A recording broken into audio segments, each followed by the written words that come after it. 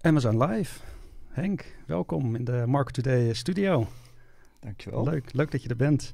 Uh, ik ken jou van een uh, bezoek, lang geleden, nou ik denk dat het uh, zes, zeven jaar geleden is geweest, aan het Rijsterbos in Friesland, Zuid-Friesland, tegen het IJsselmeer aan. Ja. Ik was daar op uitnodiging met een groep, omdat het een, ja, een, een, een, spiritueel bos was. Nou, jij was daar ook. En ik neem aan dat jij daar was omdat die locatie ook uh, in jouw boek uh, Spirituele Plekken in Nederland uh, staat. En ja, wat ik me kan herinneren is dat, dat jij daar zeg maar, tijdens die, dat event daar ook iets vertelde zeg maar, over jouw boek en waarom dat voor jou een, een spirituele plek was. En op een, een of andere manier is dat altijd bij me bijgebleven. Uh, ik werd er gewoon heel erg uh, ja, door geïnspireerd. Ik stond toen, ja, moet ik zeggen, misschien wel iets anders nog in het, in het leven, in het spirituele leven als nu.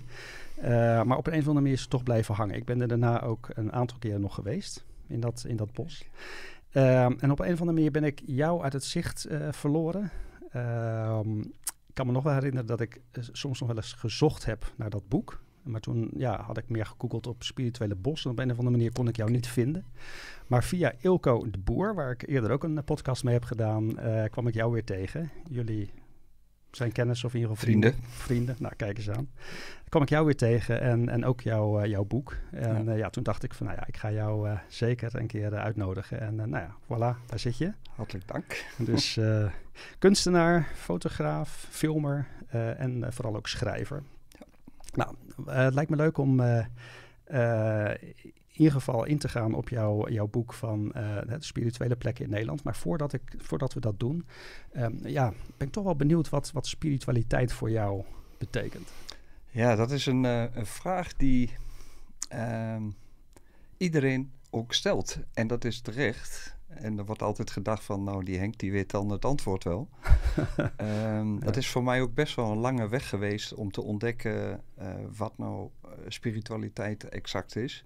En het is niet exact, maar um, ik ben erachter gekomen dat het vooral iets in jezelf is en niet meer dan dat. En als je praat over een spirituele plek, is dat alleen maar um, de, de, ja, de materiële omgeving die je kan helpen om uh, contact te zoeken ergens in jezelf met iets dat buiten je ligt. En wat er buiten ligt, dat is onbekend. Um, het, voor sommigen is dat het goddelijke, het, uh, de schepper, het universum, um, een andere dimensie. Ik weet het niet precies. Ik ga zelf, denk ik, dat er een hogere kracht is. Um, maar ik heb er geen beeld bij. Het is niet uh, het christelijke zoals ik opgegroeid ben als katholiek jongetje, een man met een baard. Dus ja, die fase die zijn we natuurlijk ja. al heel gauw voorbij gegaan. En uh, ik denk dat het uh, iets anders is. Maar wat het is, ik heb er geen, uh, nog steeds geen antwoord op. Nee. Maar, maar, voor jou zijn het, zijn het ervaringen? Ja, voor mij is het een stapeling van ja. ervaringen. En die begonnen als kind en die gaan tot op de dag van heden door. En die uh, stuwen eigenlijk nog steeds mijn zoektocht naar wat is dat nou, dat spirituele? En hoe krijg ik er um, het absolute verbinding mee? Ja. Hè? Dus, en als je dan naar zo'n plek heen gaat, dan helpt zo'n plek of de geschiedenis van die plek of vormen of de sfeer helpen je om dat contact ja, met dat hogere te, te vinden. Ja. Maar je, je, zegt van eh, als kind al, hoe oud was je dat je toen, toen je je eerste ervaring had? Um, ik was drie jaar. Drie? Ja, en uh, ik heb als kind een aantal vreemde gebeurtenissen meegemaakt die mij uh, tot op de dag van heden nog steeds bezighouden. Je, ik, de dingen die ik toen beleefd heb, die beschrijf ik soms ook nog in mijn boeken. Ja. Um, het begon mijn wakker worden in de wereld begon eigenlijk met een uh, traumatische droom. Ik droomde dat ik uh, als klein kind van drie achter het huis op, uh, in de tuin stond. En ik keek naar boven en uit de lucht, daar vielen bollen, zwarte bollen en kubussen. En die bollen die werden groter en groter en die verpletterden de hele wereld, inclusief mijzelf. Oh, wauw. En die shock die ik had, was zo groot dat er een arts bij moest komen om eh, mij die nachten daarop weer in slaap te krijgen. Want uh, ik durfde absoluut niet meer te gaan slapen. Dus Ja. ik had gelijk eh, een slaapstoornis. Zo. Maar, maar was dat toen je drie was? ik was drie jaar. Maar dat kan je nog herinneren? Ja. Dat, is, eh, dat was mijn shock Ja. om wakker te worden in het leven. En ik weet niet of we in dit moment van het interview eh, goed is om daarover te hebben, maar deze droom, die heeft zich op een bizarre manier ook gematerialiseerd in mijn leven. Maar dan met een heel andere uitkomst. Dus daar wil ik het misschien ja, nog nee, over hebben. nee, eh, vertel maar. Ja, ik sla dan eigenlijk een heel stuk van mijn jeugdverhaal over. Dus dat Ah, is een, oké. maar ik, ik wil het wel vertellen omdat het een combi Ja, is. Dan. Ja, ja. Eh, jaren later, toen ik al in. eh, ik, ik heb in Groningen gewoond op een boerderijtje in eh Nieuw-Beerta. en op eh, zekere dag eh, was mijn broer en mijn eh, schoonzus die waren op visite. Het was een eh, prachtige zomerdag in, eh, in eh, augustus, staalblauwe hemel. En we zaten lekker tegen mijn studio aangeleund in het zonnetje. En ik keek omhoog en ik zag boven in de lucht, heel hoog, allemaal zwarte puntjes. Ik zei tegen mijn broer, moet je kijken, mijn droom. Nou, hij keek, hij zag, hij zag ze ook. Oké. En we hebben daar naast staan kijken. En die puntjes werden groter en groter. En na tien minuten werd ons, mijn huis, wij, on- mijn tuin, compleet bedekt door stro. Stro? Stro. En niet, de stro die viel niet vijf meter verder op de weg of voor het huis, maar het viel alleen op ons, op het dak en in de tuin. En we werden bedolven onder stro. Wauw. En toen zeg ik van, nou, mijn droom heeft zich gemanifesteerd nu. Alleen, eh, het voelt wel een stuk beter dan een totale vernietiging van de mensheid. Maar waar kwam dat vandaan dan? Ja, dat weten we dus niet. Oh, dat is gewoon een mysterie. Eh, nou ja, je zou kunnen zeggen, eh, het kan zijn dat 100 kilometer verderop misschien een, eh, een windhoos geweest is die, Oh ja. die eh, stro meegenomen heeft, hoog de lucht in. Wat grappig. Maar het heeft zeker 10 minuten geduurd, dus het moet echt kilometers hoog zijn Ja. geweest. Ja. En dat had ik ook geloofd, eh, dat dat de reden is. Maar het bizarre van het verhaal is dat het dus alleen maar op ons viel. Ja. En niet op de weg ernaast. Ja. Niet in de voortuin. Alleen maar op het dak. In, nou ja, en in de tuin waar wij zaten. ja, precies. Dat maakt het wel Ja. eh, boeiend. Wat bijzonder eigenlijk. Maar goed, hè, dus voor jou was dat de uitkomst van jouw droom. Wat, wat voor betekenis geef jij daaraan? nou, het, ja, het is altijd lastig om, eh, daar, om iets te interpreteren.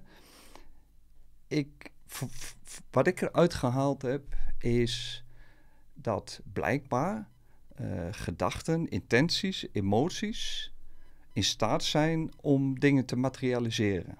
Ja, oké. En Ja. ehm, omdat er 40 jaar tussen zat, tussen mijn droom en eh, de gebeurtenis, met dat stro, eh, denk ik dat mijn focus wat verminderd was en het geen stenen werden en, en kubus en bollen, maar dat het dus verzacht is in de vorm van stro. Ah, oké. Maar ja. wel eh, voor mij.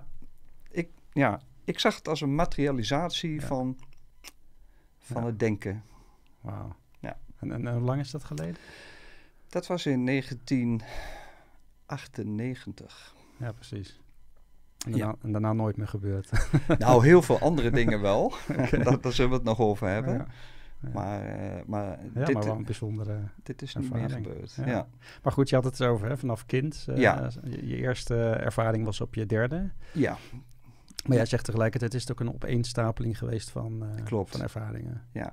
ik was denk ik vier. Mijn moeder helaas overleden, maar die weet niet meer precies hoe oud ik was. Ze dacht een jaar of vier. Ik zat bij haar achterop in het op de fiets en we fietsten door eh, Borne, waar ik geboren ben. Born in Born, zeg ik altijd. Oh En ehm, ik tikte mijn moeder op de rug en ik zeg: Mama. En ik wees met mijn vingertje naar boven: Wie heeft de hemel gemaakt? En eh, ja, mijn moeder zei: van, Dat was je eerste vraag. De eerste levensvraag. En eh, mijn moeder was daar heel verbaasd op. Wie, heeft nou, wie vraagt nou wie de hemel gemaakt heeft? ja, precies. Uh, dat was wel ehm, het bewustzijnsstartpunt voor mij. Van, eh, ik moet blijkbaar vragen stellen. Ik, ik wil vragen stellen. Ik, wil, ik ben benieuwd eh, van wat zie ik om me heen en eh, hoe komt dat er? Ja. Eh, mijn moeder had daar geen antwoord op. Dus moest ik het zelf gaan zoeken. Ja, dat is eh, nog steeds mijn pad, mijn weg. Dat is nog steeds jouw vraag eigenlijk. hè? Dat Ja. is nog steeds de vraag. Toen gebeurde er een jaar later, eh, nee, twee jaar later, ik was eh, zes, misschien zeven, dat weet ik niet helemaal, ik denk zes. Ehm, ik ben katholiek opgevoed, dus wij gingen zondags naar de kerk. Ja. En eh, mijn ouders gingen dan te communie. En ik moest dan als jochie blijven zitten, want ik was in de katholieke kerk moet je dan zeg maar het klein aangenomen zijn, zodat je de communie mag ontvangen. Nou, dat, zoveel oud was ik nog niet. En mijn ouders eh, gingen te communie. Ik zat daar alleen. En eh, ik zag plotseling, ik, ik moet e- even eh, tussen haakjes zeggen dat ik dit verhaal Hm. nog maar heel weinig gezegd heb tegen mensen Oké. omdat het, ehm, het is een heel vreemd verhaal, vind ik zelf. En sommige mensen zullen denken van, nou, hallo. Ja. Maar goed, ik ga het toch vertellen. Ik zag ehm, naast een pilaar eh, een blauw licht. En in dat blauwe licht eh, was een, dame, een vrouw. En die zei tegen mij: Zeg vanmiddag om drie uur tegen je moeder: Dit is de tijd van het einde. Wauw. Ik had geen idee wat zij bedoelde met de tijd van het einde. Maar goed, ik denk: Oké, Maar, maar wat voor licht was Ja, dat dan? Was een, dat eh, een, soort- schijnsel? ja, een, een blauw schijnsel. Ja, Een, eh, een neonachtig ja. ja. eh, zoiets. Nou, ehm, ik was natuurlijk een klein, ik ging, eh, ik was een, een straatkind. Ik Ja. vond het lekker om op straat te spelen, rolschaatsen. Dus eh, ik ging die zondagmiddag eh, was ik met vriendjes op straat en om zes uur s'avonds, ja, schrok ik. Jeez, ik ben helemaal vergeten te vertellen aan mijn moeder dat ik om drie uur tegen haar moest zeggen. Jeez, nou, ik dus eh, naar mijn moeder. Ik zeg, mama, ik moest jou van een mevrouw zeggen in een blauw licht. eh, dit is de tijd van het einde. Hm. Nou, mijn moeder was, eh, die zette echt grote ogen op. Ze zegt van, wat, is, wat bedoel je met dit is Ja. de...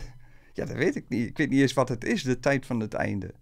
Maar ik moest het alleen maar zeggen. Nou, dat was voor mijn moeder eh, een keerpunt in haar leven. Oh, echt Want waar? ze- ja, want ze heeft heel vaak gecheckt. Jongen, wat heb je dat nou bedacht Ja. of verzonnen? Ja. Maar ze kwam, ja, ik wist gewoon helemaal niet wat het begrip dit is de tijd van het einde was. Daar had ik nog niet een beeld bij. Nee, je was hartstikke jong. Dus ja. Ja. ehm, dat heeft me natuurlijk wel later heel erg beïnvloed. Samen met de vraag, wie heeft de hemel gemaakt? Hm. dit is de tijd van het einde. Nou ja, wat betekent dat? Eh, zo jong als ik was, ging ik eh, bibliotheken in en ik begon alles te lezen wat ik maar kon lezen over de aarde, de kosmos, ehm, kwantumfysica. ik begon alles te lezen en te lezen. Maar ja, dan vind je nog steeds je antwoorden niet Nee. in. Toen dacht ik van, eh, oké, misschien moet ik wel priester worden. Want dan ben je, sta je toch wat dichter en heb je misschien, eh, krijg je misschien kennis. Ja. Dus eh, Hoe oud was je toen? ik was toen eh, 12. Twaalf. Dus Ja. op je twaalfde besloot je eigenlijk om eh, Ja. priester te worden. Nou, Ja. Oké. Ik neem even een slokje. Ja. Dus ik heb eh, mijn ouders gevraagd of ze voor mij een seminarie eh, wilden zoeken. Eh, dat hadden ze gevonden in Tilburg, Mill Hill. Ehm, ik ben daar naartoe gegaan. Ik, eh, na drie weken was ik het helemaal zat daar. Want ehm, het was alleen maar studie. En er was helemaal geen ruimte voor andere dingen die ik ook interessant vond. Dus Ja. ik vond het daar te, te streng en niet passen. Dus gevraagd of ze een ander seminarie voor mij wilden zoeken. En eh, toen kwam ik op Collegium Carolinium, eh, in de volksmond bekend als eh, seminarie Ravensbos bij Valkenburg. Oh, daar, ja. Ja. Ja. En ja, daar heb ik een fantastisch, fantastische tijd gehad. Ehm, en gelukkig geen enkel eh, misbruik meegemaakt. Oké. ja. Niemand trouwens daar. Dus ik heb heel veel geluk Ja. gehad. Eh, Het is natuurlijk later in Ja. de, in de katholieke kerk wel een issue geworden. Maar goed, ik heb daar een fantastische jaren gehad. En ik ehm, kreeg de ruimte ook om naast de... Het was natuurlijk een gymnasium, maar daarnaast kreeg je ook heel veel ruimte om jezelf te ontplooien. En eh, ja, ik zocht het natuurlijk niet alleen in het eh, theologische, maar ik zocht het ook in het natuurkundige. Want ik denk, het kan nooit één richting zijn Nee, waar het antwoord in ja. zit. Ja. Het Dus- is allebei waar. Ja, en eh, ik raakte wat bevriend met de docent natuur- en scheikunde. En ja, die voelde wel mijn ambitie. En ik had een, een, een vriendje, Erik, die nog steeds mijn beste vriend is. En die ook eh, eh, graag eh, natuurkunde en scheikunde. dus wij eh, kregen een torenkamer ter beschikking met allemaal apparatuur. Een Van de Graaf generator, een eh ja. retorten, Ja. eh, chemicaliën. En, eh, en wij mochten dus eh, lekker gaan experimenteren. En daar hebben ze zich een beetje in vergist. Want eh, we hebben bijna het eh, klooster opgeblazen. Oké. Krijg je dat voor elkaar? nou, wij eh, we waren een beetje aan het experimenteren met waterstofgas. Ah, ja. En eh nou, ja, daar moet je als 12, 13-jarig jochie eigenlijk eh, wel heel voorzichtig mee zijn. Maar Ja. het mooie was, ik kreeg, wij kregen een opdracht. Ehm, o- o- ons eh, seminarie organiseerde één keer per jaar met alle gymnasia uit Limburg een sportdag. Want bij het klooster lagen natuurlijk allemaal sportvelden. En eh, in de tuin, daar stond een prachtig Mariabeeld met een grasveld. En aan ons was de opdracht gegeven: zorgen jullie voor een knalletje, Hm. zodat we de sportdag kunnen openen. Kunnen, oh, ja, precies. Ja, en ik verstond geen knalletje, ik verstond knal. dus wij hebben daar eh, eh, iets gemaakt, Ja. eh, zeg maar een soort bom. En er stonden 150, 200 jongeren uit, die stonden daar omheen. En wij hadden een eh, afstandsbediening gemaakt. In, in die tijd ging dat nog niet radiografisch, maar Nee, met draadjes. Plaatje, ja. En dan hadden we dus vlak naast het Mariabeeld hadden we dus op een paaltje een, een pakketje. En dan eh, de pater sport, zoals we hem noemden, die mocht dan een hendel overhalen. En dan, Oh, eh, wauw. nou, en Ja. eh, dat was ook tot onze eigen verbazing iets te grote knal. Want het was echt een drukgolf. Het leek wel echt een atoombom, zo'n wolk. Oh, Met, echt? eh, oh, Oh, Het was echt bizar. En het beeld het- stond er nog? Nou, het Maria-beeld zat helemaal onder het zand en eh, gras. En, maar goed, ik heb daar een mooie tijd gehad. Maar ehm, na twee jaar werd ik overmand door heimwee. Hm. En ehm, ik miste gewoon mijn ouders en mijn, mijn vriendjes en eh, vrienden in Borne. En ik, eh, ik dacht van, moet ik nou nog twaalf jaar door om priester te worden? Oh, is dat zo lang trouwens? Oh, wauw. Ja, dat is een eh, best wel lange weg. eh. Zo. dus ik dacht van, nou, misschien zijn er andere wegen. Ja. Dus ehm, dat, Dus je bent weer teruggegaan? ik ben weer teruggegaan Ja. naar, naar Twente. Ja. Ja. En eh, dat is een goede, goede stap geweest. Want de ervaring is eh, heel erg blijven hangen van het Ja. eh, seminarie. En daar is natuurlijk wel... Kijk, ik, als persoon laat ik het leed of het verdriet wat je soms hebt... Hè, en laat ik liever vallen.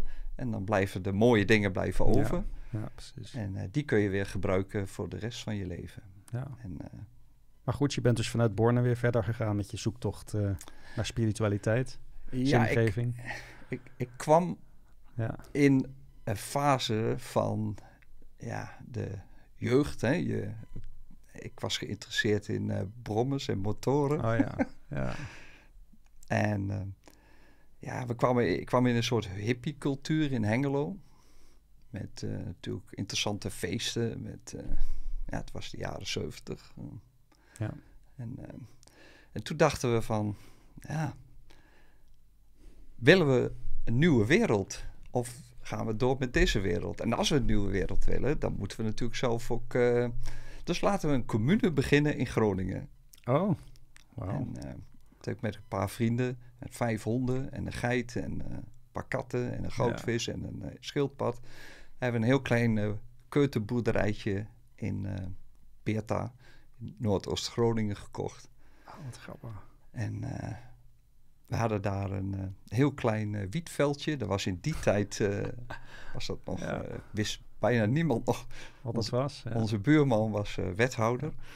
En eh, die woonde dan eh 100 meter verder. Hè. ja. En die kwam wel eens adviezen geven over ons, hoe we de groenten moesten verbouwen. En die vroeg wel eens van, wat zijn dat voor planten? Ja. Ik zei, ja, het stond er al. ja, precies. Niemand die het wist. Nee. Maar goed. Ehm, communes, nee, is niet mijn ding. nee. Hoe lang heb je het volgehouden? Een jaar. Ah, oké. Wauw. En toen was ik er ook echt helemaal Ja. klaar mee. En, en wa- wat was dat dan? Wa- wa- ik bedoel, waarom, waarom was je er klaar mee? Je hebt gewoon geen privacy. Je hebt gewoon... Nee, dat is, ja, precies. Ja, het is een soort van idealistisch beeld wat je hebt hè, als je eraan begint. Ja, en je merkt dat de, de, pragmatische dingen die je tegenkomt, hè, van Ja. we moeten geld hebben natuurlijk om Oh ja. te kunnen, je moet dit en dat. Maar twee Volkswagen bussen, hè, van die hippiebussen. Ja, precies. Ja, dat was natuurlijk de tijd. Ja, Ja, en dat moest natuurlijk allemaal draaiende gehouden worden. Er waren honden. En dan, dan ben je dus heel erg bezig van, je moet er geld, gewoon geld verdienen. Hm. En dan andere zaken. En op een gegeven moment kom je te dicht, ga je toch te dicht op mensen zitten. Ja. En dan eh, zeg je van, nou, dit is ook niet, niet mijn weg. Het is wel een Mm. goede ervaring, Ja. hè, want je leert. Maar het is niet eh, waar ik verder mee wilde. Nee. Dus toen eh, heb ik nog eventjes in Winschoten gewoond. En ik ben weer teruggegaan naar Twente. En ik kwam bij PTT Telecom te werken. Ah, oké. Ik, ik wilde eigenlijk weg- en waterbouwkundige worden. Ehm, de techniek weer. Ja. En dan wellicht in Afrika, het idea idealistische, ja. iets kunnen doen.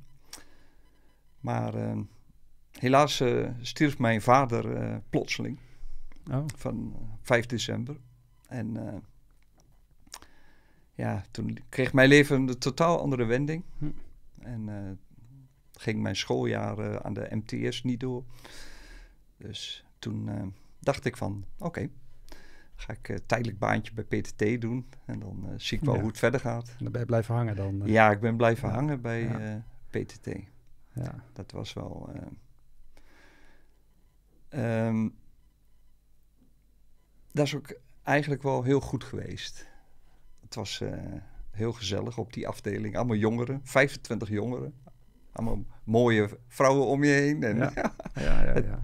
Dus het was, was een leuke tijd. ja. En eh, veel vrijheid. gek genoeg. En, eh, maar ehm, ik was in die tijd ehm, gehuwd met een, eh, iemand, een dame, uiteraard. En ehm,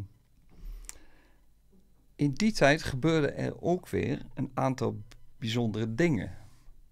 Gebeurtenissen, paranormale gebeurtenissen. Waar ik dacht van, wat moet ik hier nu weer mee? Als je het interessant vindt, zal ik uh, eentje illustreren. Ja, ga je gang. Uh, ik woonde in een appartementje in Hengelo. En ik droomde op zekere nacht dat ik met een groep vrienden op een bospad liep. En op een gegeven moment ging het bospad aan de linkerzijde over in een heideveld. Ik zei tegen mijn vrienden: Jullie blijven hier wachten, want ik heb iets te doen in dat dorpje of stadje op de, wat je heel in de verte ziet. Oké. Op dat moment begon ik te zweven en ik zweefde. Ik deed mijn ringen, deed ik allemaal af, die gooide ik in de heide. Oh, wow. En ik zweefde naar dat dorpje en ik kwam weer terug en ik landde met mijn voeten voor mijn vrienden die nog steeds stonden te wachten. Nou, ik werd wakker. Ik dacht, oh, grappige droom. Ja. Zweven, dat, dat voelt altijd wel uh, Ja, dat leuk. zijn de beste dromen. toch? Ja. De vliegdromen. Ja. Vond, vond ik ook. Ja. En oké, de dag verstreek. En uh, ik ga s'avonds uh, naar bed. De dag erop dus, de nacht erop. Ik sla mijn dekens op. Staat er op, op het laken waar ik lig een voetafdruk van zand. Okay. Nou, ik denk, wat krijgen we nou? Dus ik, mijn vrouw was een Indische. En ja. uh, ik zeg, joh, heb jij een grapje uitgehaald of zo? Hoezo, zegt ze. Nou, ze kwam kijken. Nou ja, uit de Indische wereld is toch wel iets, um, zeg maar, het, als dingen geheimzinnig zijn, dat ja. is natuurlijk snel. Ja. Um, dus ze, ze werd er bijna bang van. Ze zegt, hoe kan dat dan? Nou, we, we, hebben nog gekeken of er schoenen in huis waren waar zand aan staat. Maar, maar je zag heel duidelijk... Een, ja, het was uh, gewoon een zand. Een voetafdruk. Ongeveer mijn uh, schoenmaat van zand. Precies in de vorm van een schoen. Op de plek waar ik lig. Ja. ja. En wat was dat volgens jou? Ja. Ja. Als jij het weet. Uh, ja. Ik weet het niet, maar wel maar dat zijn van die dingen die je meemaakt en dan dat het toch iets met je doet. Hè? Ja, ja. Het, het, het is weer, misschien is het er wel een bevestiging voor dat paranormale. Ja. Dat het niet alleen de wereld is die we zien en die we voelen. Ja. Maar dat er ergens iets is wat ook invloed op ons heeft. Ja. Dat dus. Ja, precies. Dat, dat er meer is dan alleen maar de wereld van de natuurkunde en de scheikunde. Ja, en maar goed, dat waren ook de twee paden. Hè? Aan de ene kant eh, Ja, het rationele, hoewel kwantumfysica ook niet eh, rationeel is natuurlijk, maar na- eh, bijna theologisch. Maar aan de andere kant natuurlijk het spirituele. Ja. En ja, dus dat, dat Ja. is dan zo- zo'n pad wat Ja. je loopt en tegenkomt en wat je beïnvloedt. En waardoor je dus be- nieuwe beslissingen gaat maken in je leven. Ja, precies. Ja, maar jij staat ervoor open. Weet je? Heel, veel, heel veel mensen zullen dit afdoen als, als toeval. Of ja, je ziet wel vaker iets in de vorm van iets anders. Ehm, maar goed, jij staat ervoor open. En ik denk dat jij, hè, want, want ik bedoel, jij vertelt ook dat het een zoektocht was naar spiritualiteit. Het is een opeenstapeling, zeg jij, van spirituele ervaringen. Ja. Andere mensen zullen dat niet zo zien. Hè? Dus die zullen, eh, Nee. ja, die leven gewoon hun leven en af en toe zijn er rare dingen. Maar dat, dat, doen, dat doen ze af als, eh, ja, als toevallig Ja, of iets dergelijks. Maar, maar jij, ja, jij neemt dat op, je houdt dat vast in je gedachten. Je kan er misschien op dat moment nog niet iets mee. Maar uiteindelijk verbind je dat dan weer met andere ervaringen die je hebt. Ja, ik, ik denk dat ik eh, dat soort ervaringen ook Ja. wel nodig heb Ja, om eh, te, te blijven, dat gevoel vast te houden dat het niet alleen maar het materiële is. ja. Want eh, je, bent, het wordt allemaal op- je wordt, in je leven word je opgeslokt hè, door de beslommeringen. Eh, je werkt, eh, je doet dit, je, je trouwt, je rouwt. En, Ja, Maar het is belangrijk, zeg maar, om je geest, je denken open te houden, het voelen Ja. voor die andere wereld. ja, En waarom, weet ik niet. Maar ik denk dat het voor ons allemaal belangrijk is. ja. Ja, ik heb dat zelf ook hoor. Je moet er echt voor openstaan. Maar Ik bedoel, ik denk dat iedereen het ervaart. Alleen je kunt het ook afdoen als, als ruis of als Ja. toeval of iets Ja. dergelijks. Maar Mijn ja. eh, huidige vriendin, die, wie ik al 23 jaar ben, die, eh, die is heel rationeel. ja, En die zegt, ik voel niks, ik, ik, ik heb daar niks mee. Ik, eh, En toen ik haar leerde kennen, zeg ik van, nou, er komen vast nog wel, gebeuren nog wel dingen dat jij Ja. eh, zegt van, eh, oh, hoe kan dit dan? ja, precies. Ja. En dat is ook, eh, ja, ook wel gebeurd. ja. Dus ehm, ik, ik zat weer in Hengelo. En de ik was met mijn werk bezig. Ik, ik, inmiddels had ik allerlei opleidingen bij, via PTT Telecom kunnen doen. arbeidsrecht. Ik kwam op personeelszaken te werken. Ik heb arbeidsrecht gedaan en eh, ontslagrecht en eh, Hm. nou ja, van alles. ja, dat is iets heel anders. Dat is Ja. heel iets anders. En in 1995 was ik op vakantie in de Dordogne. En ik, eh, het was een bloedhete dag. En mijn, mijn toenmalige vrouw, uit mijn tweede huwelijk, die zegt van nou joh, ik blijf lekker bij de, op de camping. Doe wat je wil. En ik dacht van, ik ga met mijn ATB-fiets, ga ik die eh, berg, heuvel, ga ik beklimmen. Maar ja, omdat het eh 33, 34 graden was en met een hoge luchtvochtigheid, eh, kwam ik er al ook wel achter dat dat wel een behoorlijke opgave nog was. Ja. Maar goed, uiteindelijk eh, bereikte ik de top. En bovenop die top, daar stond een dolmen. En ik weet niet of je weet wat een dolmen is. Dat eh, kan je vergelijken met een hunnebed. Oh ja. En dat is dus een steenconstructie, duizenden jaren oud, eh 5000 jaar. Daar ben ik op gaan zitten, op die deksteen.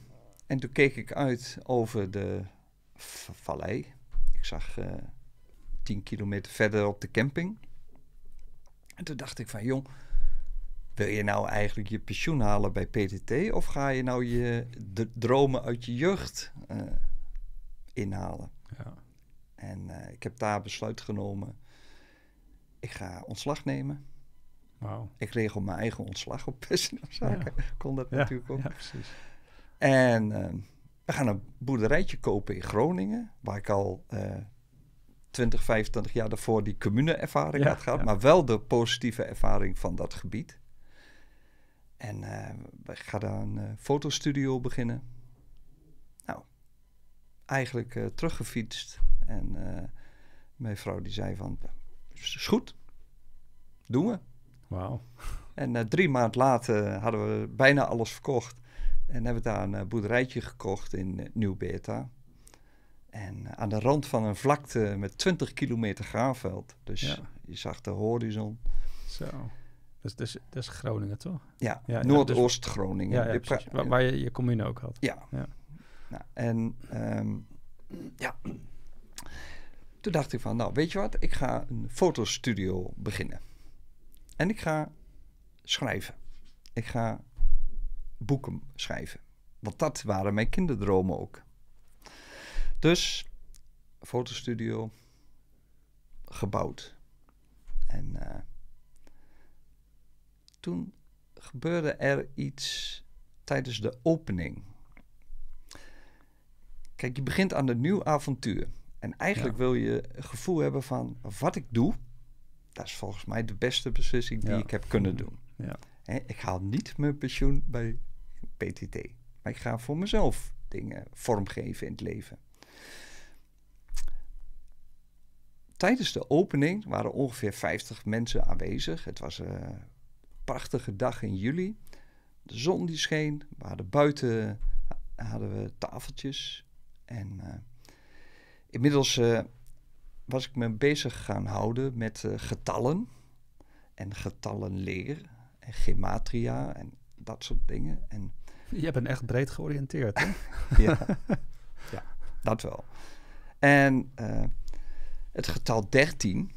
Was eh, en is nog steeds natuurlijk wel een interessant getal. Ja. En wat gebeurde er?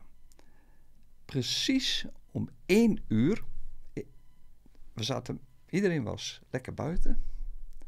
Kwam er een witte duif uit de lucht, streek neer tussen alle mensen, Ja. liep mijn huis in, wandelde door de keuken. Inmiddels stond ik bij de, bij de achterdeur en vloog de duif naast mij en ging naast mij zitten op de deur. En vloog toen naar mijn fotostudio, vijf meter of Oh. acht meter verder. En Ja. bleef vijf minuten op de fotostudio zitten. Een spierwitte duif. Nou, Ja. iedereen had, die, Ja. mensen die kennen mij natuurlijk ook. Maar iedereen had wel van, dit is een heel goed teken. Ja. ja. En ehm, soort van bevestiging van je keuze. Ja. Ja. zoiets van, Oh, oké, volgens mij hebben Ja. het hier goed aan gedaan. ja. Wat goed. En dat, eh, En dat is wat je nog steeds doet, toch? Ja. Fotograferen, filmen. ja, ik ben ja, wel, eh, schrijven. ja, ik, eh, ik heb wel eigenlijk mijn Ja. KVK onlangs ingeleverd. Ah, oké. En ik freewheel eigenlijk nu nog een ja, ja, beetje. precies. ik doe alleen nog leuke dingen. Ja. En ik hoef er eigenlijk geen geld voor te hebben. Nee, precies. Ehm, mensen kunnen mij betalen in eh, ervaringen. ja, oké. Dat, is, Oké. dat is dan weer leuk. hè. Ja, grappig. Dus, eh, maar. Maar wat, wat, ik, wat ik mooi vind aan dit verhaal is dat je die, die beslissingen, waar je, waar je nou ja, volgens mij ook geen spijt van hebt, hè, dat je dat eh, ooit gedaan hebt, Nee. dat, je dat, dat je die beslissing genomen hebt op die hunebed, of hoe heet dat? Ja, Die- dolmen. Die dolmen Hm. in, in de Dordogne. Ja. Hè, ehm, dus zo'n zo'n zo'n plek, zo'n zo'n spirituele plek, Ja. denk ik, Ja. hè, die jou dan op een, een of andere manier toch die inspiratie heeft gegeven Ja. om ja, zo'n beslissing te kunnen nemen of, of, of het helder te krijgen voor jezelf. Van hé, hey, dit wil ik eigenlijk niet. Of, of überhaupt wil ik dit. Of wat wil ik. Ja. Ehm, ja, jij staat, staat er heel erg voor open. Is, is dat ook de reden waarom je uiteindelijk gewoon eh, dat boek bent gaan schrijven van, van spirituele plekken in Nederland? Hè? Dat jij die, die, die spirituele kracht of iets dergelijks van, van, van bepaalde plekken eh, ja, op waarde schat. Ja, eh, dat, is, dat ligt nog iets anders. Dat ga ik dan toelichten, omdat het te maken heeft met. Ik ben eerst een, ro- een roman gaan schrijven. waarin spiritualiteit Mhm. ehm, een primair gegeven is. En die roman, Dat, dat is de roman uh, Lapis, toch? dat is de roman Lapis. Ja. Ik heb namelijk in 1980 een groepje opgericht van mensen die onderzoek gaan, gingen doen. En wij hebben heel Europa afgereisd om onderzoek te doen naar spirituele gebeurtenissen, naar UFO-waarnemingen, naar oké. eh, complotten. eh, Ja. en eh, daar hebben we dus een heel onderzoek naar gedaan. En toen ik dus eh, mijn studio klaar had in Nieuw-Beerta, kreeg ik ruimte om mijn onderzoek ehm, in een roman te verpakken. Ah, oké. Vol met geheimen, het gewicht van het boek, het aantal hoofdstukken, het aantal woorden op de achterkant van op de Ja. kaft, eh, de prijs van het boek. Alles draait om getallen. Ja. En het is de reflectie, zeg maar, van ongeveer 25 jaar onderzoek. Wauw. En dat is, het gaat om een, een priester die op het spoor komt van een, eh, een geheim genootschap. Een, wij zeggen tegenwoordig de deep state. Ja. Die eh, de wereldmacht wil veroveren. En eh, in dit verhaal maakt die priester, gaat hij op onderzoek uit. Hij wordt gesteund door de prior van zijn klooster. Hè, dus de, de, de leiding. En eh, hij raakt, eh, hij komt in contact met een, eh, een vrouw in Londen. Daar krijgt hij eigenlijk een liefdesrelatie mee, maar dat mag niet als priester. Oh, ja. Maar goed, de spanning voel je. En samen reizen ze door Europa om uiteindelijk in Jeruzalem de apotheose van het verhaal eh, te krijgen. En dat loopt niet zo goed af. Oké. Wat grappige is wel, dat ehm, in de roman, en daar was ik me toen in 1999 nog niet zo bewust van, gaat het om dingen die in de huidige tijd een rol beginnen te spelen. Mijn onderzoek, wat ik gedaan heb, gaat onder andere over de occulte achtergronden van de nazi's. Ah, dus wat heeft Ja. nou eh, de, de gedachtegoed? Het gaat om geheime genootschappen, het Thule-Genossenschaft, Oh ja. het uh, Genossenschaft. en Ja. Al die dingen. Ehm, wat is daar nou de, de oorzaak van geweest? En hoe werkt dat nog steeds door in de huidige tijd? Nou, in de roman zie je dat dat dus nog steeds van invloed is. Hm. En tot mijn grote verbazing, de dingen die ik toen, waar ik me nog niet bewust van was, die ik wel beschreven heb, zich nu manifesteren in de werkelijkheid. zoals? Ehm, meerdere dingen. Ehm, ik ga er één toelichten. Dat Want dit is- was jaren negentig dat je het boek schreef, denk ik. Ja, nee, dat, is, eh, dat heb ik geschreven in 1999. Nee, oké, ja, ja, precies. Ja. Ja. En eh, dus in eh, 2000 is het gepubliceerd. Oké. Ehm, er zit een heel geheimzinnig verhaal nog aan vast. Maar ik ga me even richten op iets wat nu speelt. Heb je wel eens gehoord van de Hopi-Indianen? Ja, Ehm, nou, ik heb het toest... Kijk, de Hopi is een stam, een Indianenstam in Amerika... die ehm, een hele spirituele geschiedenis heeft vastgelegd. In hun legende, in hun verhalen, in hun mythen. En ze hebben ook ehm, een deel van die ehm, verhalen die ze kenden... die hebben ze vastgelegd in steen. Hè, in gravures op rotsen. oké. Ja. Er is een Nederlandse onderzoeker geweest, dat is Dick de Zoeten. En die heeft in de jaren 70 een aantal jaren bij de Hopi gewoond om sociologisch onderzoek te doen. Hij heeft een boek geschreven, Hopi, ehm, waarin hij heel neutraal en eh, objectief, zeg maar, ehm, die spiritualiteit van de Hopi-Indianen beschreven heeft. Toen ik dat boek las, ehm, kwam ik op een passage die gaat om de levensprofetie van de Hopi-Indianen. En we kunnen eventueel een foto laten zien ja, ehm, dat is goed. Ja. van die rots. Ehm, ja.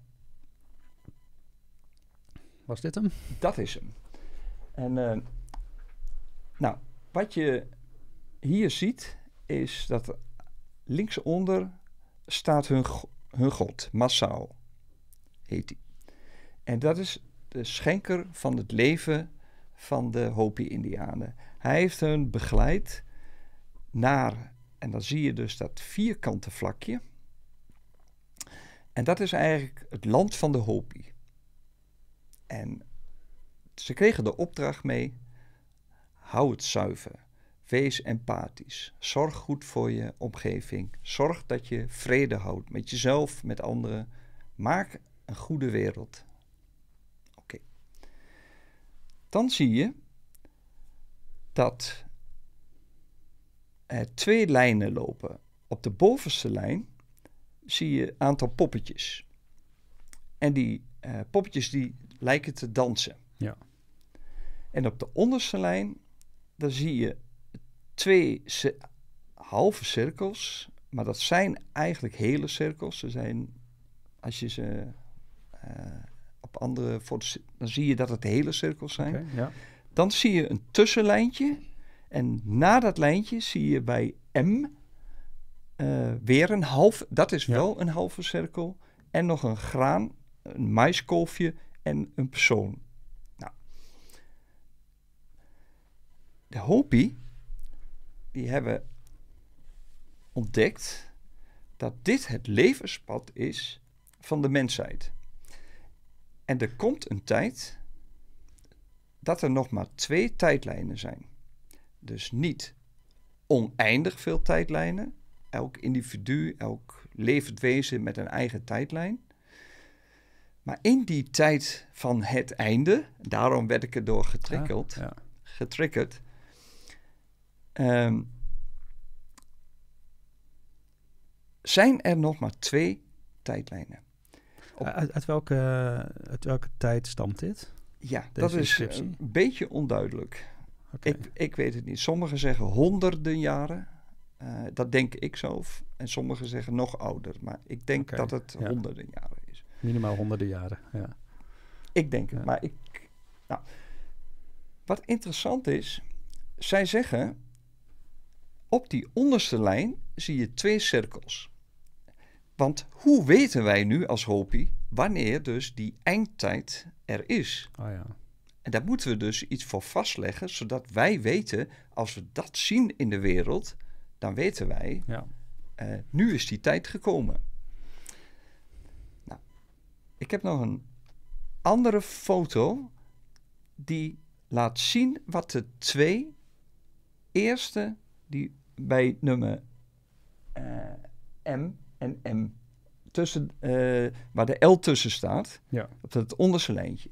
En misschien kunnen we die foto er nog even bij halen. Wat je ziet is eh, de eerste cirkel is ja, een Babylonisch kruis, maar wij zouden zeggen het is een Duits kruis uit de Eerste Wereldoorlog. Op iedere tank Ja. Zag je zo'n teken staan. Ja. Oké, toeval. Waarschijnlijk. De jaren verstreken, toen kwam er een tweede cirkel die je op de lijn zag. En het symbool van die tweede cirkel is een zon met een hakenkruis. Ah. En de zon is de Japanse zon en het hakenkruis is het Duitse hakenkruis. In, zeg maar, de uitleg die de Hopi eraan geven. Toen wisten zij 1 en 1 is 2. Het Duitse kruis van de Eerste Wereldoorlog, die zij geen wereldoorlog noemen, maar purificatieperiodes. Purificatie betekent natuurlijk reiniging. Ja. Dus de reiniging van de aarde. En deze twee symbolen zagen zij en toen wisten ze van, kijk, nu zitten we dus in die eindtijd. ja. Dus dus de de Eerste en de Tweede Wereldoorlog eigenlijk. Ja, en dan zou ik even terug willen naar de rotstekening. Dan zie je dat tussen die bovenste lijn waar heel veel mensen op staan, hè, er staan allemaal poppetjes op die dansen, plezier hebben, die Ja. met het materiële bezig zijn van de wereld. En dat er een lijntje loopt bij N naar de onderste lijn. En wat zij zeggen, er is nog maar, hè, de Hopi zeggen, er is nog maar heel korte tijd na die twee purificatieperiodes, dat je nog terug kunt naar de lijn van het goede, waarop de empathie weer een belangrijke rol En dat speelt. is de, de bovenste En dat lijn. is de onderste lijn. Oh, de de onderste. Ah, lijn is de lijn waar helaas maar heel weinig mensen op staan. Maar Ah, dat is de lijn, die loopt ook helemaal om het rotsblok heen. Dat- hè, hier, is die af, hier lijkt hij te Ja. stoppen, Ja. maar in feite loopt hij daar helemaal... Omdat dat de weg is, eigenlijk de ware weg die je als mens zou moeten eh, volgen. De lijn die de opdracht vervult van Massao, hun god die ooit die opdracht gegeven heeft. Maar je ziet dus dat daar dus heel weinig mensen op staan. Ja. En op die bovenste lijn heel veel. Ah, oké, ja. En de Hopi waarschuwen, je, je kunt nog terug. Zorg dat je een goed mens wordt, zodat je, wanneer die tijdlijnen uit elkaar springen, hè, ze zijn nu nog, ze lopen nu nog in elkaar, maar ze gaan uit elkaar, dat je op de goede lijn staat. Want de bovenste lijn leidt naar vernietiging en ondergang. Hm. En de mensen die daarop staan, in de visie van de Hopi, zullen dus ten onder gaan. En alleen de mensen die dus weer teruggekeerd zijn naar de ware mens zijn, in de visie van de Hopi, zullen dus eh, op een andere tijdlijn terechtkomen waar ze overleven. En nu wordt het interessant. Op die onderste lijn, na dat eh, pad Ja. eh, naar boven, daar staat nog een halve cirkel. Ja. Nou, Dick de Soete, die beschreef natuurlijk eh, wat dat betekende volgens de Hopi's. Nou, de Hopi zeggen, er komt een derde purificatieperiode. En het kenmerk daarvan zal zijn dat het uit Amerika zelf komt. En niet dus uit, maar uit Amerika zelf. En dat het gekenmerkt wordt door mensen met rode petten. Ah. Kijk, Rode petten. juist.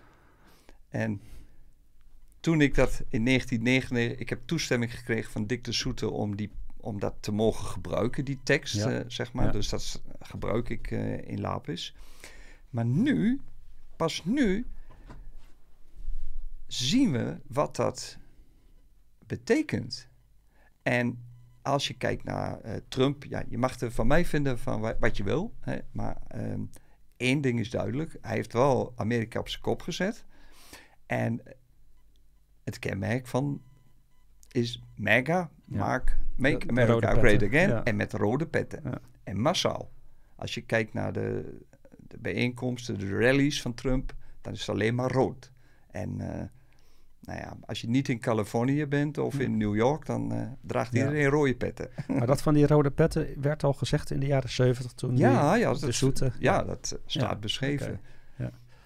En dat maakt het voor mij wel interessant. Van, oké, Ja. nou, en die tijdlijnen, eh, dat is een aspect wat dus eh, in mijn roman speelt. En dat is de spirituele kant van het verhaal. En dat, eh, kijk, het gaat om de Lapis Jeruzalem. En de, subtitel van het boek is De ontrafeling van het derde geheim. En dat slaat op het derde geheim van Fatima. Eh, ik kan dat uitleggen, maar hoeft niet. Maar het- de kern van het verhaal is dat er dus een schijf, een stenen schijf, ooit door de aartsengel Michael begraven ligt onder de tempel van Jeruzalem. Hm. En zowel eh, het donkere, duistere broederschap als wel de priester zijn dus op zoek naar die schijf. Ja. Want die schijf die zal dus een belangrijke rol spelen in die eindtijd. Blijkbaar zit daar een gravure in of een tekst. Nou, en op het moment dat die tekst, die stenen schijf, door beide partijen gevonden worden, zie je dat eh, de donkere kant een andere boodschap leest dan de priester. Ah, En dat werk ik dan weer uit naar die tijdlijnen. Ja. Als je op de ene lijn staat, ben je gespiegeld naar de andere lijn. En als ik kijk naar mijn huidige onderzoek van dit moment, ik besteed er elke dag zes, zeven uur aan, Wauw. zeven dagen in de week. Dus dat is best wel veel. Ehm, spelen die tijdlijnen een steeds grotere rol. Ik had van de week nog een eh, vreemde ervaring. Eh, mijn vriendin die zei: Joh, Henk, de keukenklok, eh, daar moet de batterij van vervangen worden, want hij loopt een half uur achter. ja. Ik keek, ja, ik zei: Nou, dat doe ik van de week wel even. Maar ja, ik was alweer vergeten. het. En eh, twee dagen later dacht ik van... Oh ja, wacht even, ik moet die klok nog gelijk zetten. En een nieuwe batterij. Ik loop naar die klok. Hij loopt met dit horloge 100% tot op de seconde loopt hij gelijk met mijn horloge. Oké. Zonder de batterij. Ik dacht van, oh, mijn vriendin die heeft, dat, eh, die, heeft die batterij vervangen. Nee, ze zeggen, ze, ze kwam... eh zeg, nou, wat is dat nou? Hoe kan dat nou? Ja, dat is wel apart. Ja, dat is apart. En ik denk dat, eh, dat die turbulentie, waar de Hopi het over hebben, waar ik nog andere bronnen ook voor gevonden heb, Ja. eh, die dat ook lijken te bevestigen, dat die turbulentie van die tijdlijnen, die nog verstrengeld zitten, eh, dat die dat soort effecten geven. En toen dacht ik van, nou laat ik, ik zit op bepaalde groepen in Amerika waar ik eh, veel mee communiceer. ik denk, laat ik het voorval eens erop zetten. Kijken hoe.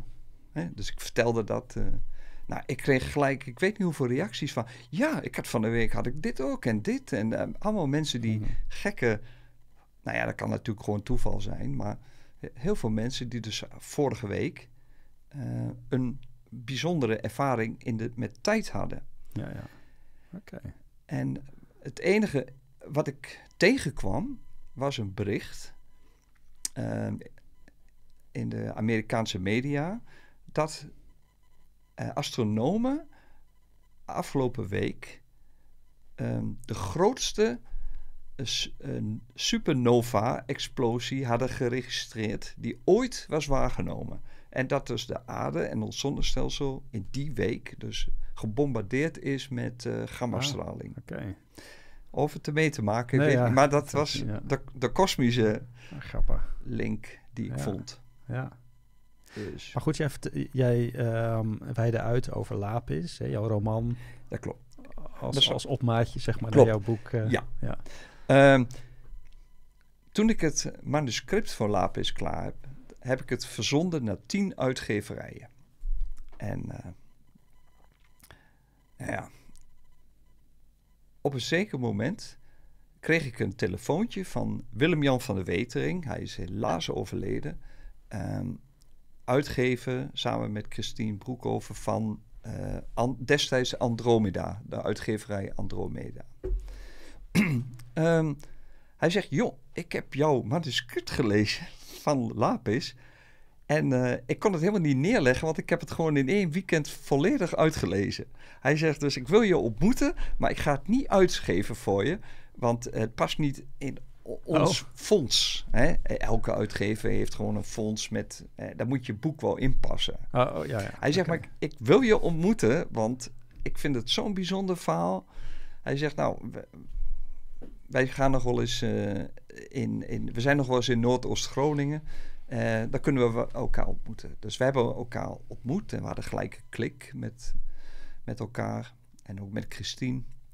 En hij zegt, jong, hij zegt, ik ga het niet voor je uitgeven, want het past niet. Maar ik ga je een opdracht geven. Wil jij een boek schrijven eh, over spirituele plekken in Nederland? Mm, Ga je maar lekker op onderzoek, want eh, ik begrijp al best dat jij al heel veel plekken kent.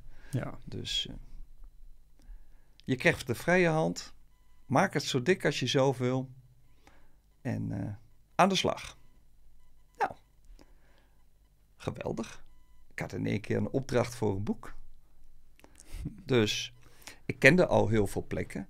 Ja. Maar ik moest me natuurlijk nog wel weer gaan verdiepen. Want nu eh, werd het toch wel behoorlijk serieus. Ik moest ook echt wel kunnen zeggen... ja, wat is dan spiritualiteit? Maar, maar nog even, hè, van, van hoe kwam, kwamen zij dan eh, ehm, van het ene boek, hè, Lapis, zeg maar, naar een boek Nou, over spirituele plekken? Omdat eh, Andromeda eh, eh, boeken over spiritualiteit publiceert ja, ja. in die tijd. Hè? Dus eh, hun fonds, een boekenfonds, waren boeken ehm, die over spiritualiteit gaan. Ze gaven ook van die kaarten uit, de spirituele kaarten. En dus ja, en in, in Lapis eh, Gaat- gaat, gaat toch ook over een verschijning? ja, maar Lapis is echt een roman. Nee, dat snap ik. Maar, maar daar kwam ook een verschijning in voor, toch? Van een engel in Eh, Normandië of iets dergelijks? Ja, klopt. Het heeft met, dat heeft met Fatima te maken. Ja, precies. Maar misschien is dat een soort van mentaal bruggetje geweest voor hen.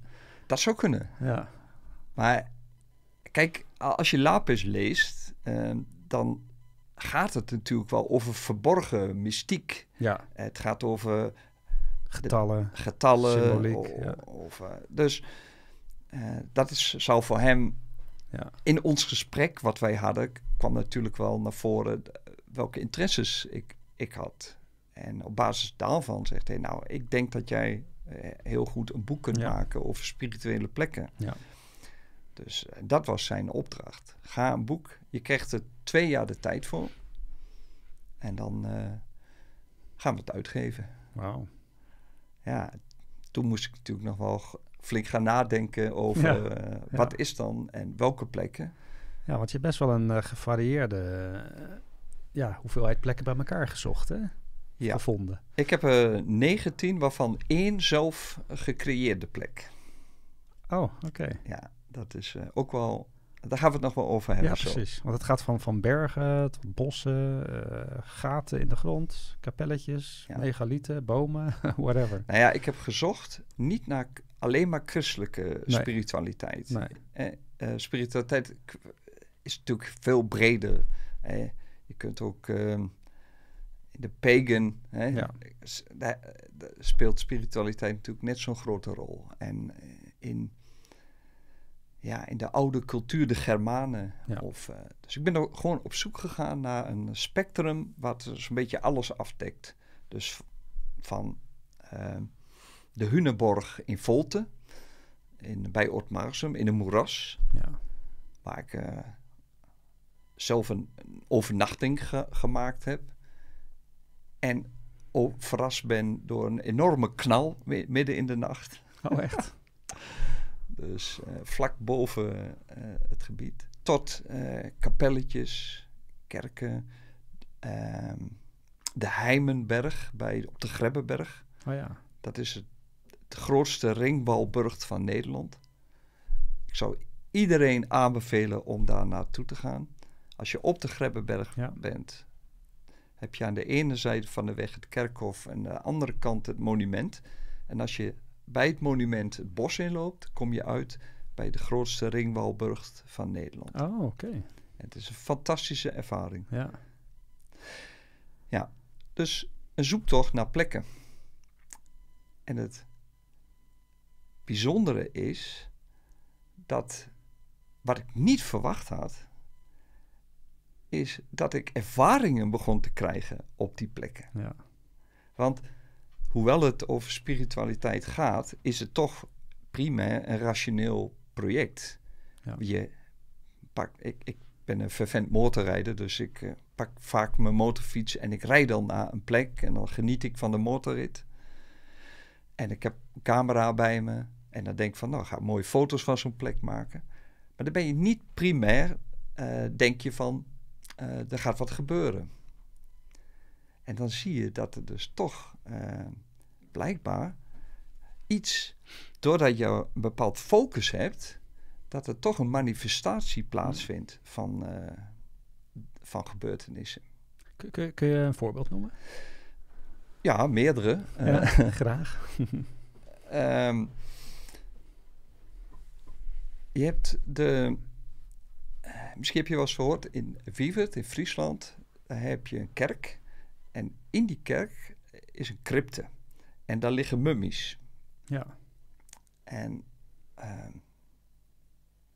hoe kan dat nou in Nederland? Ja, mummies in Nederland. Ja. In een vochtig klimaat. Ja. in een crypte met open raampjes waar eh, het vocht doorheen komt. Hoe kan het dat daar lichamen bewaard blijven, mummificeren, tot op de dag van heden?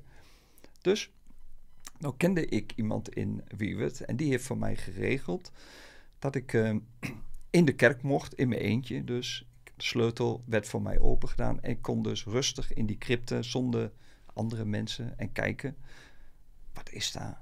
Ja. Dus ik had een camera bij me. En eh,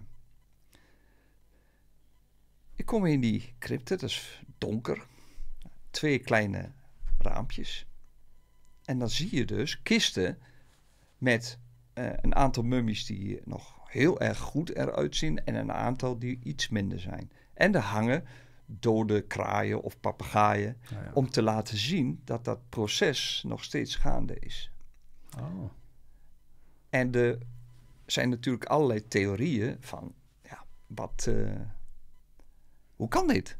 Nou, Ja. er zijn wetenschappelijke theorieën. Het is de tochtstroom tussen die twee, die zorgt voor mummificatie.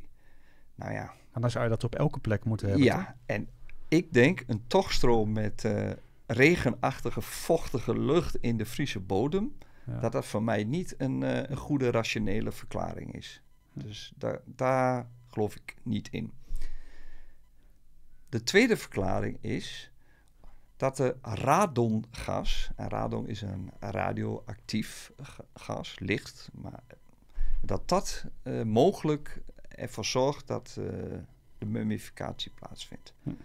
Nou, dat ik- komt daar uit de grond of iets. Ja, dat zou dan uit de grond komen. ja. Nou, het is al een contradictie met de twee raampjes waar een togstroom in zit. Want dat radongas dat stroomt daar niet in grote hoeveelheden uit de grond.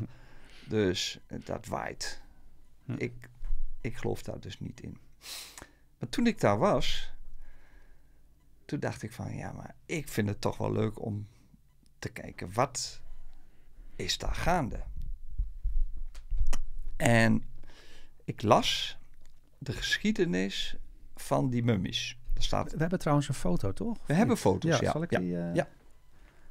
Kijk. Goed. Hier hebben we, ehm, heb je een beeld van hoe dat eruit ziet. Je ziet die eh, papegaaien die aan, Oh ja. en je ziet die kisten. Hoe oud zijn die mummies trouwens? Nou, die zijn een paar honderd jaar oud. Ja. En de geschiedenis is dat een zekere Jean de Labadie in Bordeaux was dat een, een, eh, een geestelijke een, die in conflict kwam met de kerk door zijn ideeën. En hij moest uit Frankrijk vluchten, uit Bordeaux, en vond zijn toevlucht bij de barones van het kasteel in de buurt van Wiewet, die hem gelegenheid gaf om daar eh, met zijn volgelingen eh, hun geloof en de uitingen van hun geloof te beleiden. En eh, het idee is dat de Labadisten, zoals ze genoemd worden, een secte waren die gebruik maakten van eh, exalterende dansen en zang om dus eh, een visie te ontwikkelen dat eh, het lichaam ook niet vergaat en dat er dus een eeuwig leven is. En dat doen zij dus door, door eigenlijk trance, dus door in trance te raken en met al die volgelingen intenties uit te spreken Ah. en die intenties veroorzaken dat de materie zich schikt naar die intenties. De manifestatie van intenties die gemaakt, gedaan zijn tijdens dus een trance met een hele groep. Dus dan heb je een enorme kracht. En wat zij dus geloofde is, is dat als zij die lichamen daar beg- begroeven in die ehm crypten, dat ze niet zouden vergaan. En ik denk dat we dus, net zoals mijn droom ehm, van, de, Ja. van de- het, het stro werd, zijn deze lichamen niet 100% gemummificeerd, zoals je soms bij, eh, bij sommige heiligen ziet. Maar zijn ze wel, hebben ze wel eeuwen doorstaan en zijn Ja. ze nog herkenbaar. Ik kan je andere foto's laten zien. Dan zie je. ehm, nou, hier zie je nog een kist. Eh, even kijken. Ja, hier zie je. Een van de mummies. Maar dat ga ik toelichten, want je ziet hem, maar je ziet hem niet scherp. Nee. Oké. Wat gebeurde er? Ik dacht, oké, als je een boek schrijft, dan wil ik ook een foto van zo'n mummie daarin hebben. Ja. Dus ik had mijn camera op een statief, want het was te donker. Hoewel het op die foto's ziet het er nog vrij licht uit, maar het Ja. was te donker eh, om uit de hand te, te kunnen fotograferen. Dus ik had hem een statief en ik had mijn camera even voor het gemak op automatisch scherpstellen gezet. Bij die andere foto's zie je ook, dat is prima. Maar toen zag ik op mijn schermpje, hij is niet scherp. Nee. Denk, vreemd. Nou, Oké, zet ik hem op. eh, pardon, ik had hem op automatisch gezet. Ja, hè? ja, heb ik gezegd. Hè? Oké. Ja. Ik denk, ik zet hem op hand eh. Dus ik stel mijn lens scherp. Ik kijk door mijn oculair. Ik zie dat hij scherp stelt. Ik maak een foto. Ik kijk op het schermpje. Ik zie dit. Oké. Ik heb wel tien foto's gemaakt en geen enkele foto scherp. Deze fo- foto heb ik ook niet opgenomen in mijn boek. Want ik denk, ergens overtreed ik, ik doe het, ik laat het je nu zien, Ja, maar ja. ergens overtreed ik blijkbaar een kosmische wet. Of iets. Wat me tegenhoudt om een hele scherpe foto van dit lichaam te ja, publiceren. precies. Ja. nou, ik vond dat wel, ja, dat wel heel bijzonder, ja. ik vond het een mooie Ja. ervaring. Als Ja. je er achteraf op terugkijkt, denk van, oké, Ja, het is goed, communiceer maar. ja. ja. Dus ik probeer daar ook open voor te staan. Voor de, en dan moet je ook respecteren. Oké, nou, ik laat hem nu zien. Dus, en verder heb ik hem tijdens een lezing wel eens een keer laten zien, maar verder niet. Nee, precies. Ah, bijzonder. Ja, en, maar je hebt nog meerdere plekken. Hè? Dus eh, je, je had het ook over eh Heilig Heilo. Hè? Dus de oudste sporen van, van bewoning eh, die daar hebben plaatsgevonden. Ja. Van Noord-Holland of iets dergelijks. Ja. Het is, ja, ik, ik, ik, Het, het, het zijn allemaal, het stuk voor stuk allemaal plekken met een geschiedenis. als ik zo door dat boek heen dat ging. klopt. Ja, ze hadden maar allemaal iets. Zeg. maar. Ja, Het, het waren niet zomaar willekeurige plekken in Nederland. nee, dat klopt.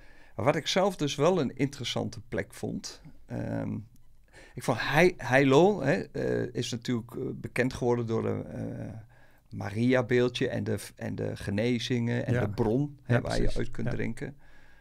Ehm, maar voor mij vond ik een andere plek waar ik eigenlijk totaal geen geloof in had, Ja, ehm, die ik toch bezocht heb.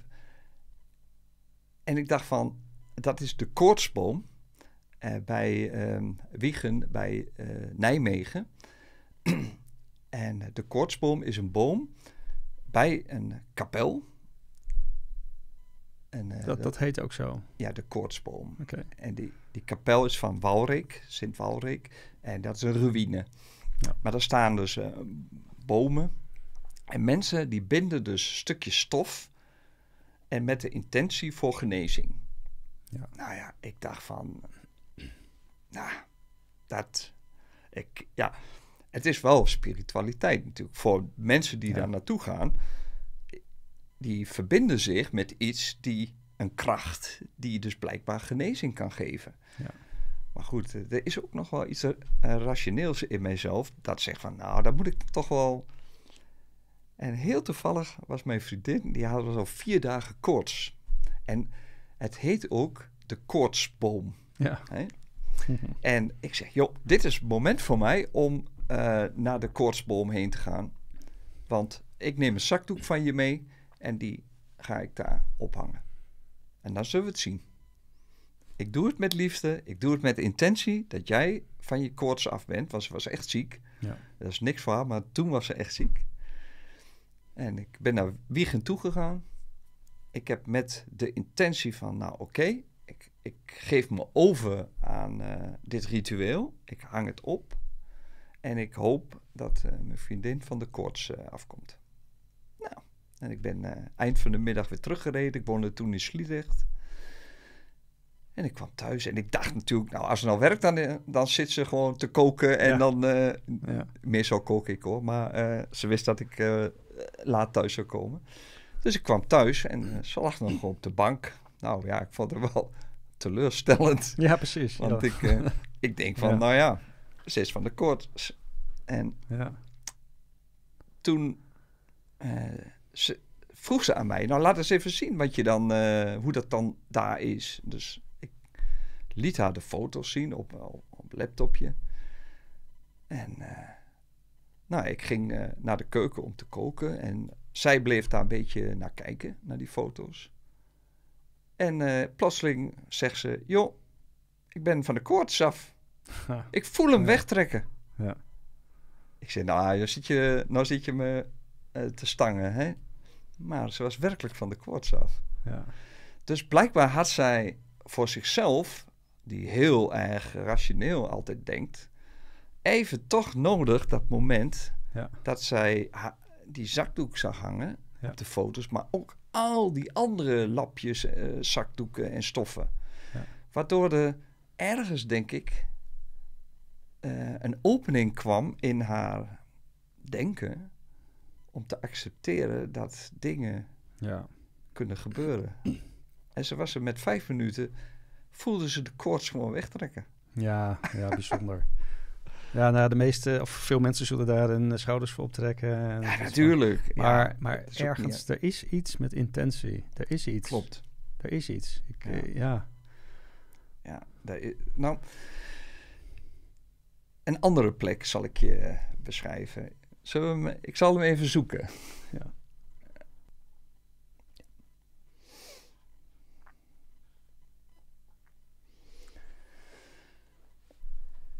Je ziet hier een weggetje.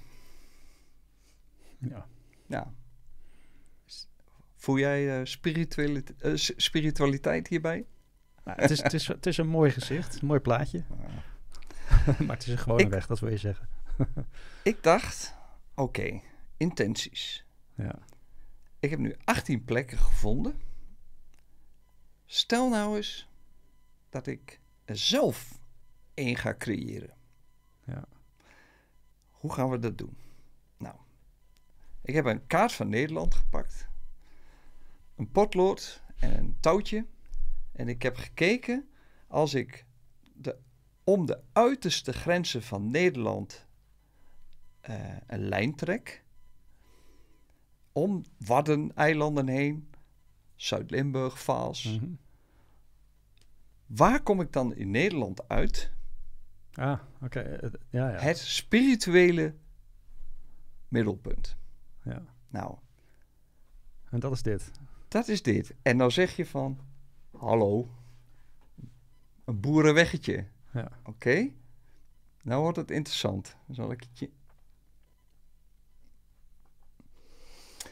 Dit is ehm, een plek. Op deze kruising stond mijn passenpunt. Een, twee doodlopende weggetjes in de Eempolder bij Baren. Mhm.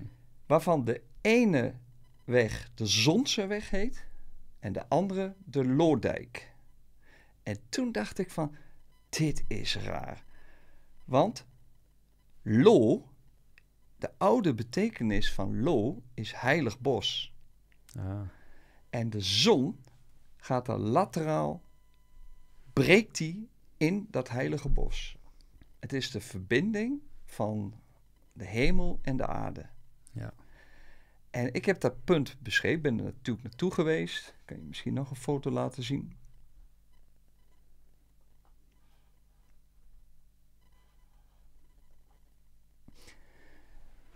Je ziet dus, het is, het is, ja, wat is hier spiritueel aan? Dat is de vraag. En nu komt het. Ik dacht van, ik, doe, ik neem hem op in mijn boek. En ik zie wel wat er gebeurt, hoe de reacties zijn. ja. Nou, vooral als je boek net op de markt is, word je vaak uitgenodigd voor lezingen. Deze plek, daar gaan mensen met bussen heen. Serieus? Ja. Wauw. Ik hoor van eh, lezers, ze vinden het een waanzinnig spirituele plek. En dit is het. Het is niet meer dan dit. Ja. Maar het is dus die intentie die, daar, die je daar voelt. Ja, ja, precies. Ja. En er zijn mensen die gaan daar midden in de nacht, gaan ze daar naartoe. Lezers, dat hoor ik. Ah, wat grappig. Ja, als spiritueel middelpunt van, eh, van Nederland. Van Nederland. Ja, Maar ze voelen, ja. ze bevestigen mij ehm, dat het een hele bijzondere plek is. En het enige wat ik daarop kan zeggen, ja, oké, ik vond het ook. Voor mij bestond het grootste toeval dat mijn passenpunt precies op die Ja, kruising terecht kwam tussen eh, Lo en de zon. ja. En toen dacht ik En van, daarmee krijgt het die lading ook. In Ja. combinatie met die ja, borden. als het eh, de Engbussenweg met de Gerritsenweg was geweest, dan had ik gedacht Ja, van... eh, precies. Ja. Ja, ja, ja, ja, ja. Nou ja, maar goed, anderen zullen misschien zeggen van... eh, ja, zo kun je iedere plek eh, spiritueel maken. ja, maar dat is maar dus ook zo. dus- maar dat was dat, dus... dat klopt. Ja. Dat is ook zo, want ik heb al in het begin van ons gesprek eh, gezegd dat spiritualiteit ehm, niet die plek is, maar in ons hoofd zit. Ah, ja. Ja. Het is, het is de geometrie, het is, zijn de namen, het is de, de getallen, het is de vorm, de geur, die ergens, als je daar gevoelig voor bent, lang niet alle mensen zullen, want de boer die hier dagelijks met zijn trekkertje langskomt, zal niks voelen. Nee. Maar als je dus openstelt, dan helpt zeg maar zo'n plek om die verbinding te maken. Je ziet dus ook dat heel veel mensen op dit soort plekken gaan mediteren. En dat doe je om dus eh, de, eh, ja, om de rest van de wereld even Ja. achter je te laten. Ja. En dan met die meditatie die verbinding tot stand te brengen. Maar als dit de Gerritse weg was geweest, wat je net zegt, had hij dan ook in jouw boek gestaan? Dat weet ik niet. Ja. Dat, we- dit, dat is een goede vraag, maar ik, ik weet het niet. Ik, Nee, het was wel heel... het kon niet anders toevallig. zijn dan de... Nee, nee, precies. Maar het was wel heel toevallig tussen aanleidingstekens Ja, eh, dat dat zo was. Het kwam bij elkaar. En dat Ja. was voor jou een bevestiging van, hé, hey, Ja. er is iets. Ja. ja maar als het... eh, Ja. Dan weet ik het niet. Misschien had ik, had ik dat vals gespeeld. Ja, precies. Oh.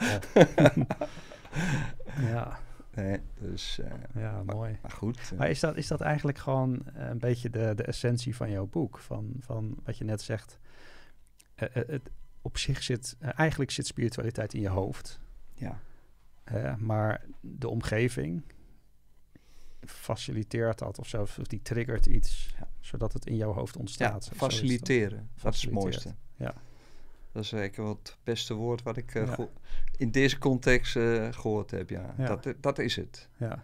Dus als jij, ja, ik weet niet hoe, hoeveel spirituele plekken heb je beschreven? Ik heb er 19 beschreven. 19, oké. Dus het zijn er natuurlijk gewoon veel meer. Je hebt Ja. gewoon een, een, een mooi, eh, ja, Ja, kijk, achteraf hoor je dan weer van... ehm, ja, maar die plek is ook ja. En die plek, en ja, dat is dat hou je altijd. Ja. Dat is prachtig, dat is ook zo.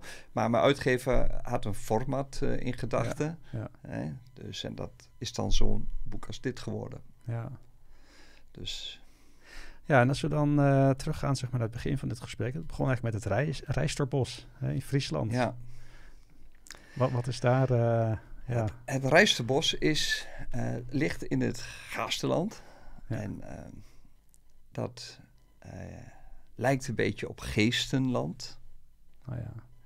En is een hele oude plek. En bevat in het Rijsterbos vind je het enige hunnebed van Friesland.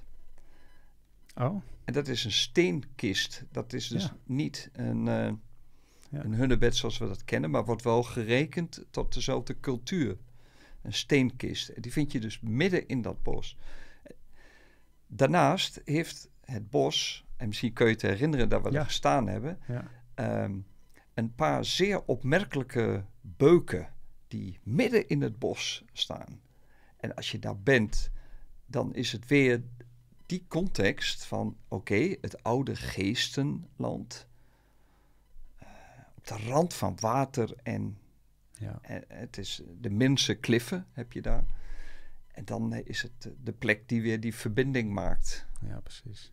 En die beuken, die, eh, die daar al eeuwen staan, die dus eh, in hun materie en in hun atomen al die herinneringen, die ehm, elektrische, ehm, moleculaire, atomaire herinneringen hebben aan de geschiedenis van die plek. Ja. Daar, maar als je zo'n boom aanraakt, ik ben niet een bomenknuffelaar. maar bij zo'n oude beuk op zo'n plek ja. leg ik altijd wel even mijn handen. Dus eh, ik kan een foto laten zien van die plek. Ja, nou laten we dat doen. Ja. Maar ze maken inderdaad eh, heel erg indruk. Ja, Ja. kijk. Ja. Ja. Het zijn, eh, ja, Ze zijn gigantisch. ze zijn gigantisch. Ze staan ook midden in dat bos. En de rest van het bos is dan, ja, het is een Ja. ander type boom. Ja, precies. Dus ja, mooie plek. Ja, zeker. Nou ja, een, eh, aanbeveling om daar naartoe te gaan. Ja, ja, überhaupt de plekken in, jouw in jouw boek. Ja, Ja. ik, ik vond, het, eh, vond het een mooi gesprek, eh, Henk. Dankjewel. Ik vond het ook leuk. Ik, Dus ik, ja, nou in eerste instantie, van, ja goed, een verzameling van 19 spirituele plekken. Maar als Mhm. je dan gewoon toch ehm, ja, daarin verdiept en je ziet wat die geschiedenis daarvan is en wat daar gebeurt en, en je leest die ervaringen en je bent er zelf en je, en je voelt dat Ja. zelf ook, dan gaat het op een of andere manier toch leven. dat, Heb ik, dat is in ieder geval mijn ervaring. Nou Ik ja. denk, eh, dat is ook zo. ja. Maar ik, ik denk dat iedereen wel moet weten dat eh, wat ik al gezegd heb, spiritualiteit kun je op iedere plek beleven. Ja, ja precies. Zelfs als je in, in je eigen woonhuis. Het is niet voor niets dat mensen eh, tempeltjes maken in huis. Of Ja. eh, plekjes met kaarsen. Of Ja, een dat is waar. Mariabeeld. En Het is allemaal verbinding zoeken. Ja, En de, ik denk in deze tijd, die woelige tijd waarin we nu zitten, de eindtijd, hè, zoals Ja, die dame ja, ja. in het. eh, dat is, nee, de tijd van het einde. Dat is wat anders dan eindtijd. eindtijd. Maar goed, dat heel veel mensen dat voelen Ja. en ehm, ook weer zich willen verbinden. We hebben in Borne, waar ik woon, eh, een onvoorstelbaar mooie Mariakapel. Maar ik heb de afgelopen jaren nog nooit zoveel kaarsen zien branden als Als- deze ja. tijd. Ja, En dan zie je dus dat de mensen angstig zijn, ja. geen antwoorden vinden. ja, Dus- precies. Ik denk dat dat, eh, ja, dat, dat zeker waar is. Mensen zoeken spiritualiteit weer, hè? Ja. Ja. Zeker. Wat zijn je plannen? Ehm, ik heb alweer een nieuw boek geschreven. Ah, oké. Ehm, samen met eh, Ingrid van Belen. En dat was een opdracht ook van de uitgever. Ja. Alleen het wacht nog even op, eh, door omstandigheden bij de uitgeverij, Ja, op ja. publicatie. Maar het, het boek ligt er, dus ik hoop eh, dat het nog gaat komen. En waar, waar gaat het over? Tipje van Ehm, de sluier? Ja, Leven met de dood. Ah, En, het, eh, en het is niet eh, een negatief eh, boek. Het, is, het laat alle aspecten zien. Niet alleen van de mens, maar ook van de kosmos en de planten en de dieren. Alles wat te maken heeft met leven en dood. En de relatie daartussen. nou, ik ben zeer benieuwd. Ja. Leuk. Ja, ik- Ja. wat een heel mooi boek. Ja. Heel mooi. Dus Eh, ik heb, eh, in di- bij dit boek heb ik eh, de foto's gemaakt en Ingrid heeft de teksten geschreven. Oké. Oké. Nou, ik ben, eh, ben zeer benieuwd. Ja, en verder. Ja, Ja. Ik, ik heb nog steeds heel veel leuke foto-opdrachten. En Ja, nog het een, gaat gewoon door. een aantal. YouTube-kanalen waar ik me mee vermaak. Ja. Dus ja, dat was nou, het. mooi. Ja, in ieder geval jouw zoektocht naar het, ehm, de tijd van het einde, dat gaat gewoon door. Ja, daar ben ik, wat ik al zei, elke dag Ja. minimaal zes uur per dag eh, Ja, mee leuk. bezig. En dat, eh, maar dat brengt mij ook op eh, wegen buiten het spirituele. Ja, Ehm, dus zit je toch meer in de politiek of in andere gebeurtenissen. ja precies. En Dus daar kunnen we ook nog wat Dus van complotten. Ja, ja, precies. alleen maar complotten. Ja, het onderwerp van een, eh, van een andere podcast zou ik zeggen. Nou, in ieder geval ehm, mooi gesprek. Ik denk dat we het eh, ja, zo ongeveer wel moeten, moeten afronden. We zijn al best wel een tijdje bezig. Ik heb geen idee. Nee, ja, goed. Tijd is Eh, gevlogen. Ja, precies. Nou, weer de tijd, hè. Nou, fijn dat je er was, Henk. Ja, dank je Marco. ik wil jou bedanken voor je aanwezigheid. En ja, graag tot een volgende keer. Graag gedaan. Bedankt.